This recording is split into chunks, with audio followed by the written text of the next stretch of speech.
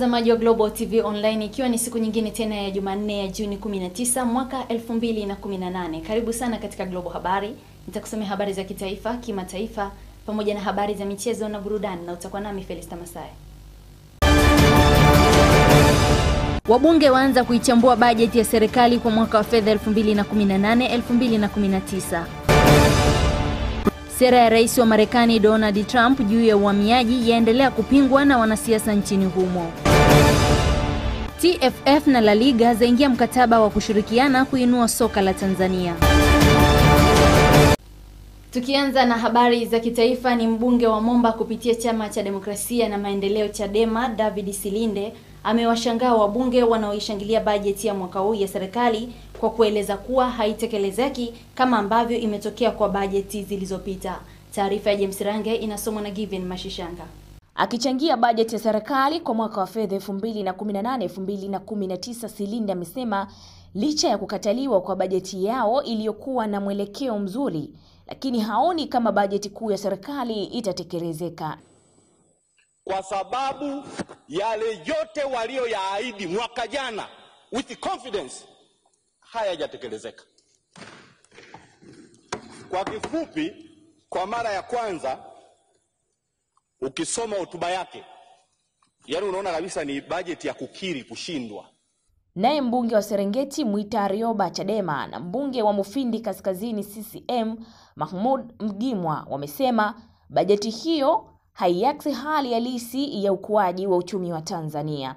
Mheshimiwa Mpango, umeandika wewe, aliyesababisha kasi ya ukuaji wa kilimo ikwe kwa asilimia tatu ni nani?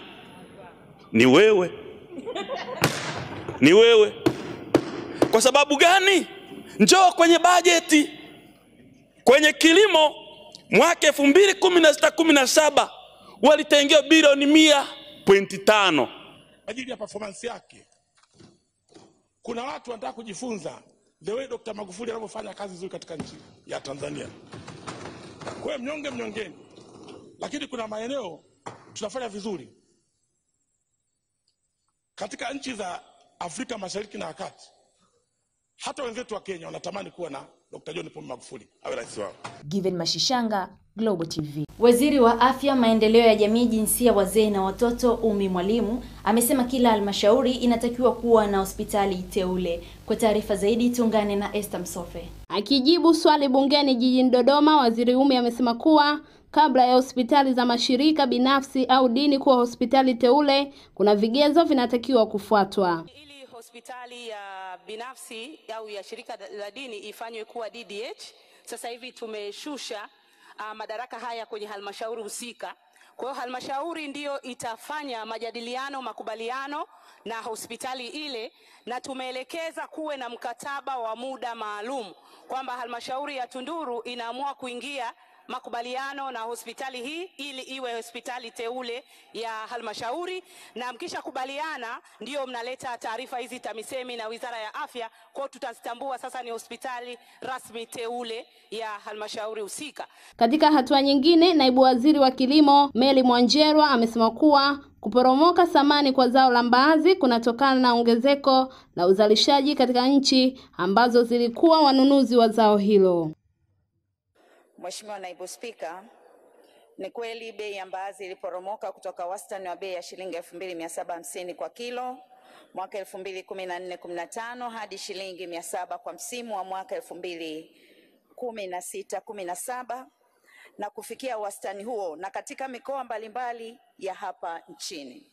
Hali hii imesababishwa na ongezeko la uzalishaji wa mbaazi katika nchi za India, China, Brazil, Myanmar, Canada, Msumbiji, Sudani na Tanzania.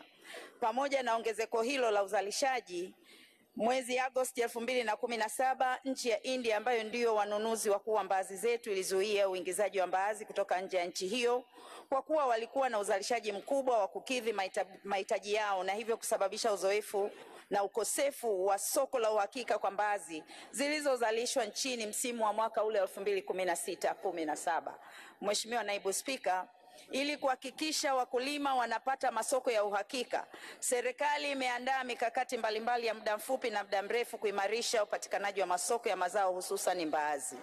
Mikakati ya muda mfupi ni pamoja na wizara kupitia bodi ya nafaka na mazao mchanganyiko kwamba itaongeza idadi ya mazao yatakayonunuliwa ambayo ni pamoja na mazao jamii ya mikunde kwa maana ya mbaazi, choroko na dengu. Esther Msofe, Global TV. Mtazamaji, baada ya taarifa hiyo kutoka mkoani Dodoma, na sasa tukielekea Manyara, ni mwenyekiti wa serikali ya kijiji cha Mwikati wilaya ya Babati mkoani Manyara, Simon Lilala kupitia chama cha demokrasia na maendeleo Chadema ameshambuliwa na kujeruhiwa kwa mishale na mapanga na watu wasiojulikana kwa kile kilichodaiwa kuwa ni mgogoro wa ardhi. Tuungane na Esther Msofe kwa taarifa zaidi. Kamanda wa polisi mkoa wa Manyara Agustino Senga amethibitisha kutokea kwa tukio hilo na kusema kuwa shambulio hilo limetokea jana Juni 18, 2018 katika kitongoji cha Waloa wakati mwenyekiti huyo akiwa kazini pamoja na wajumbe wa serikali ya kijiji. Kamanda Senga amesema kuwa Lala ameshambuliwa ambapo alikuwa akisimamia kesi ya ndugu wakigombea ardhi na ndipo upande walioshindwa hawakuridhishwa na matokeo ya baraza la kata. Katibu wa Chadema mkoa wa Kilimanjaro Basi Lema amesema kuwa mwenyekiti huyo atahamishiwa katika hospitali ya rufaa ya KCMC kwa matibabu zaidi baada ya kupewa rufaa katika hospitali ya mkoa wa Manyara. Esther Msofe, Global TV. Na habari hiyo kutoka mkoani Manyara imekamilisha katika habari za kitaifa. Mtazamaji, unaweza ukaendelea kutufuatilia katika mitandao yetu ya kijamii Facebook na Instagram, tunatumia Global Publishers, Twitter ni Global Habari na YouTube chaneli yetu tunatumia Global TV Online. Tupate mapumziko mafupi na hivi punde tutarejea katika habari za kimataifa.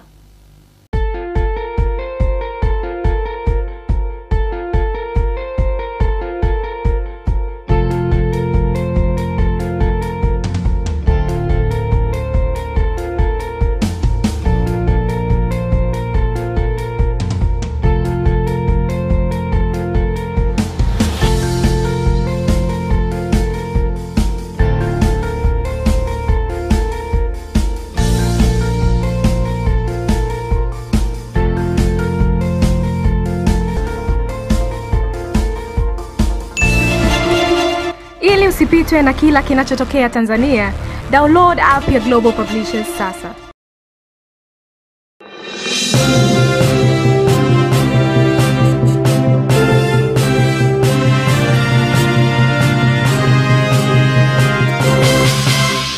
Mtazamaji, na huu ni wasaa wa habari za kimataifa.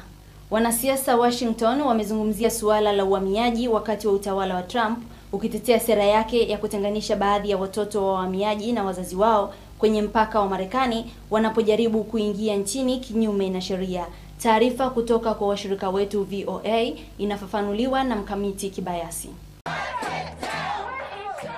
Wakati mmoja hiyo ilikuwa ni tabia nadra kufanyika, lakini hivi sasa maafisa wa uhamiaji wa serikali kuu kwa kawaida kila siku wanazitenganisha familia zinazotafuta uhamiaji au kujaribu kuingia Marekani kinyume cha sheria. Hivi sasa takriban watoto elfu mbili chini ya miaka kumi na minane wamepatiwa hifadhi katika maduka makubwa ya zamani yaliyogeuzwa vituo vya kuwapatia hifadhi wakimbizi vikiwa na viwango vya kawaida vya mahitaji ya binadamu kuishi kwa heshima, kama video hii ya Wizara ya Afya na Huduma za Dharura inavyoonyesha.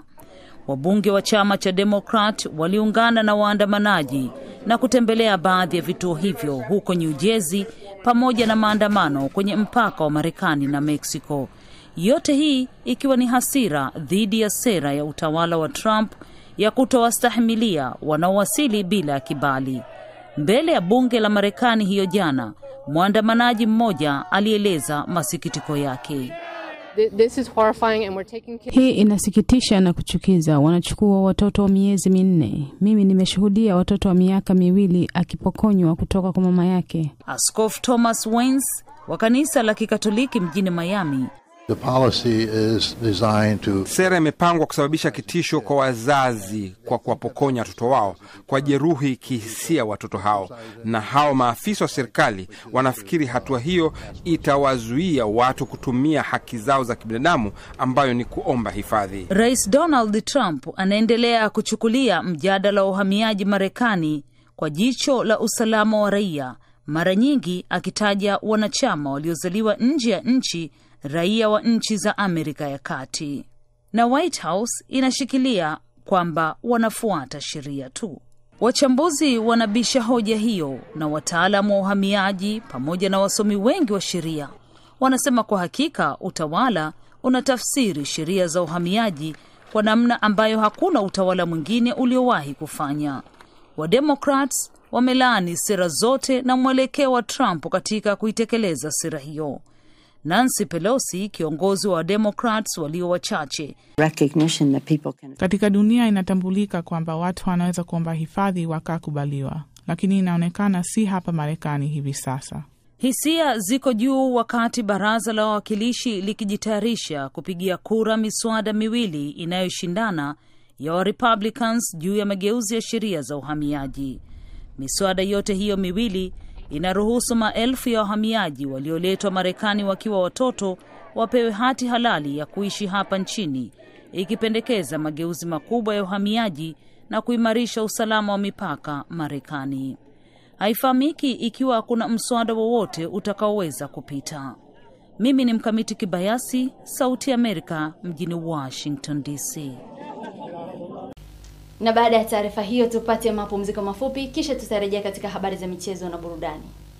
Global TV Online ni TV yako ya mtandaoni ambayo inakupa taarifa zote muhimu na matukio yanayotokea hapa nchini na duniani kwa ujumla.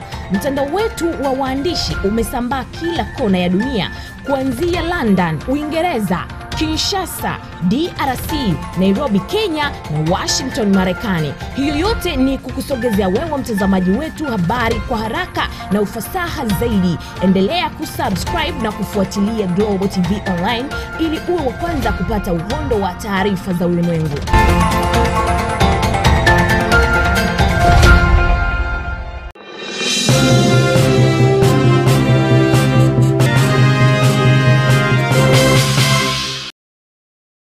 Na mtazamaji wa Global TV Online, na huu sasa ni ule wasaa wa kudundadunda katika habari za michezo na burudani. Shirikisho la soka Tanzania TFF limeingia mkataba wa miaka mitatu na ligi kuu ya nchini Hispania La Liga kwa ajili ya kuendeleza mpira wa miguu nchini Tanzania. Kwa taarifa zaidi tuungane na Aaron Felix. Hafla ya utoaji saini hiyo ilifanyika jana Juni 18 mwaka huu makao makuu ya La Liga mjini Madrid, Hispania, iliyohudhuriwa na rais wa La Liga Javier Tebas, mkurugenzi wa maendeleo ya kimataifa ya La Liga Oscar Mayo, mwakilishi wa La Liga Tanzania Sami Hanane, rais wa TFF Wallace Karia na ofisa mtendaji mkuu wa bodi ya ligi Boniface Wambura. Akizungumza na waandishi wa habari leo kwenye ukumbi wa mikutano wa TFF, afisa habari wa shirikisho hilo Clifford Maro Ndimbo amesema kwamba hii ni hatua nyingine kwa La Liga kujikita kwenye mpira wa miguu duniani na nia yake ya kushirikiana na taasisi mbalimbali za maendeleo mbalimbali. na mipango ya mashindano na taasisi hizo pia zitashirikiana katika uzoefu na utaalamu katika kuendeleza mpira wa wanawake, lakini pia vile vile kuanzia uh, soka la chini kwa maana ya grassroots. Na eneo jingine ni lile la shughuli za kijamii kwa maana kwamba La Liga pamoja na TFF uh, kushirikiana kwa pamoja katika miradi pamoja na shughuli mbalimbali eh, za maendeleo ya kijamii na makubaliano hayo pia yamelenga katika kuhakikisha mchezo huo unakuwa safi, kwa maana kwamba uh, masuala ya kibaguzi yanakuwa hakuna, mambo yasiyofaa katika michezo pia vile vile yanakuwa hakuna, upangaji wa matokeo pia unakuwa hakuna na vitu kama hivyo, na itakumbukwa kwamba makubaliano kama haya pia yameshawahi kufanyika kimataifa, kwa maana kwamba katika maeneo mengine mbalimbali La Liga wakiwa wamefanya hivyo. Itakumbukwa Mei 2017 walishawahi kufanya makubaliano kama haya na chama cha soka cha pale Afrika Kusini SAFA, lakini pia limewahi kufanya na bodi ya ligi ya pale nchini Kenya eh, kwa maana Pamoja na hayo, La Liga kwa kushirikiana na TFF watashirikiana kuandaa semina mbalimbali za ukocha, uongozi, uamuzi pamoja na semina za maendeleo ya soka la vijana na wanawake. Aaron Felix, Global TV, Dar es Salaam. Na taarifa hiyo ya michezo kutoka kwake Aaron Felix imetufikisha tamati katika habari za kimataifa, kitaifa pamoja na habari za michezo na burudani. Lakini sasa, mtazamaji, ni kupeleke katika studio namba mbili kwake Azizi Hashim pamoja na Elvan Istanbuli ndani ya uchambuzi katika Global Habari. Asante sana Felista Masai kutoka studio namba moja. Na mpendo mtazamaji, ni wakati mwingine mzuri napokaribisha katika uchambuzi. Jina langu naitwa Aziz Hashim na kama kawaida studio niko na mchambuzi wetu Elvan Istanbuli. Mada ambayo tutajadili leo ni kuhusu agizo la Waziri wa Afya, Maendeleo ya Jamii, Jinsia, Wazee na Watoto Umi Mwalimu la kuiagiza Hospitali ya Taifa ya Muhimbili kupunguza bei ya matibabu pamoja na dawa ili wananchi wa kawaida waweze kumudu. Na Istanbuli, katika maonyesho ya huduma zinazotolewa na Hospitali ya Taifa ya Muhimbili tume- tumemsikia Waziri Umi aki- akiagiza kwamba hizo hizo gharama za matibabu ambazo ama kwa hakika ni kubwa sana sasa hivi zipunguzwe ili wananchi waweze kupata huduma kwa urahisi. Unazungumziaje agizo lake? ya ye kwanza wananchi lazima waelewe kwamba E, agizo lile sio kwamba kaamuru kwamba bei za, za, za matibabu na na tiba pale pale, pale matibabu na dawa pale pale Muhimbili kwamba zishushwe. Hapana. E, agizo lake ameelekeza zaidi kwa uongozi, labda bodi bodi ya Muhimbili au uongozi wa Muhimbili e, ujadili kwamba mm, matibabu na dawa zishushwe bei, kwa sababu ni kweli kabisa e, gharama za matibabu na dawa ni kubwa sana kiasi kwamba ana, anaamini kabisa kwamba mwananchi wa kawaida e, anaweza akashindwa kabisa kuzimudu kwa sababu kuna gharama zinafikia mpaka milioni mbili, kitu ambacho mtu wa kawaida kabisa e, ategemee hela ya mfukoni anaweza akashindwa kupata matibabu hayo. Mara kwa mara viongozi wa serikali na hata waziri mwenyewe ame- amesisitiza swala la, la, la Watanzania wote kuwa na bima za afya eh? bima bima za afya kwa watu wazima na kwa watoto, yani kwa ajili ya familia. Bima za afya zina umuhimu gani katika zama hizi tulizonazo? E, ulimwengu wa sasa mtu kuwa na pesa taslimu mfukoni kwa ajili ya matibabu ni ngumu sana, na wakati mwingine mtu anapata ugonjwa ghafla. E, sasa fikiria unapata ugonjwa ghafla na inatakiwa labda si hela nyingi, labda elfu hamsini tu, lakini huna mfukoni. Kwa hiyo bima ya afya ni nzuri kwa sababu kwanza e, gharama yake inaweza kawa mtu anaweza kaona ni, ni, ni, ni kubwa kama hajaugua, lakini akishaugua ataona kwamba kumbe ile e, ile nani bima ya afya ina faida kubwa, kwa sababu unatibiwa e, kwa haraka na inasaidia kabisa kabisa pale ambapo mtu anakuwa hana pesa mfukoni e, na ile ina, ina, ina, ina, inafanya eh, unapowahi kutibiwa unajua unawahi kupona. Kwa hiyo ni kitu kizuri kuliko kuliko mgonjwa angeanza tena kupita mitaani kuwatafuta ndugu zake au rafiki zake kukopa pesa kwa ajili ya matibabu. Kwa hiyo mimi na, na, na afiki kwamba bima ya afya ni kitu kizuri na ingefaa kabisa kabisa ienezwe mpaka vijijini kule, ili hata mwanakijiji awe na kadi yake ya bima ya afya itamsaidia. Ni, ni, ni, ni, ni ushauri mzuri ambao umetoa Stambuli, na tunategemea tutamtafuta mtaalamu wa bima za afya aje hapa aeleza, maana kuna malalamiko mengine kwamba ile bima ya familia eh, kidogo imekuwa ni ghali tofauti na, na bima ya mtoto ambao ni shilingi elfu hamsini tu eh, na vitu kama hivyo. Istanbul Stambuli, pia Waziri Umi ameeleza kwamba tatizo ambalo lilikuwepo kwa kipindi kirefu sana katika hospitali ya taifa Muhimbili ilikuwa ni wananchi kushindwa kutibiwa kwa sababu hawana pesa. Unafika ukiwa unaumwa au unafika ukiwa umepata ajali, lakini kwa sababu unakuwa hauna pesa mkononi unashindwa kupewa huduma. Amesema kwamba tatizo hilo kwa sasa hivi halipo katika hali halisi. Eh, ni kweli tatizo hilo limekwisha.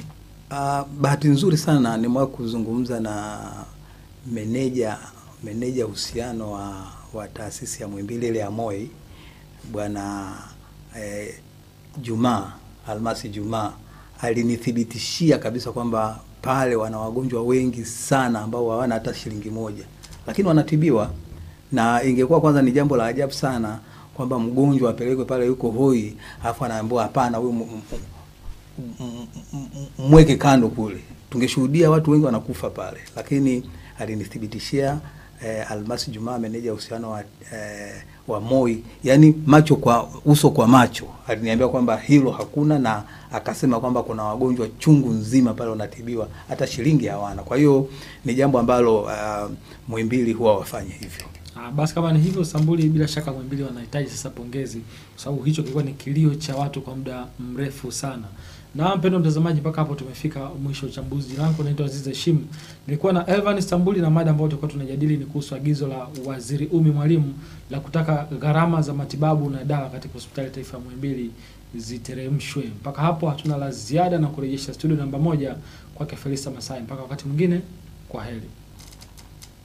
Shukrani sana Azizi pamoja na Elvan Istanbuli kwa uchambuzi mliotuletea ndani ya Global Habari. Mtazamaji wa Global TV Online, kufikia hapo ni mwisho wa Global Habari ya siku ya leo, lakini endelea kutufuatilia katika mitandao yetu ya kijamii Facebook na Instagram, tunatumia Global Publishers, Twitter tunatumia Global Habari na YouTube channel yetu ni Global TV Online. Unaweza ukasubscribe popote pale ulipo ukaendelea kuifurahia Global TV mubashara. Pia download application yetu mpya kabisa ya Global Publishers ni kupitia Play Store pamoja na App Store. Ni kwa wewe ambaye unatumia simu yenye iOS pamoja na Android. Kwa niaba ya wote walioshiriki kuiandaa Global Habari, nikutakia usiku mwema.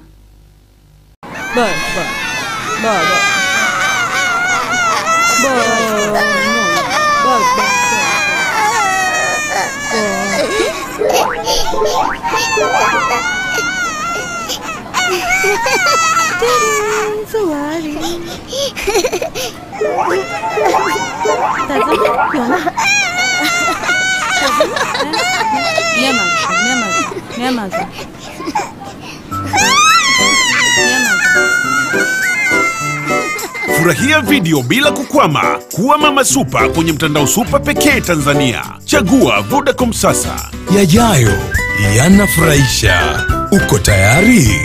Vodacom.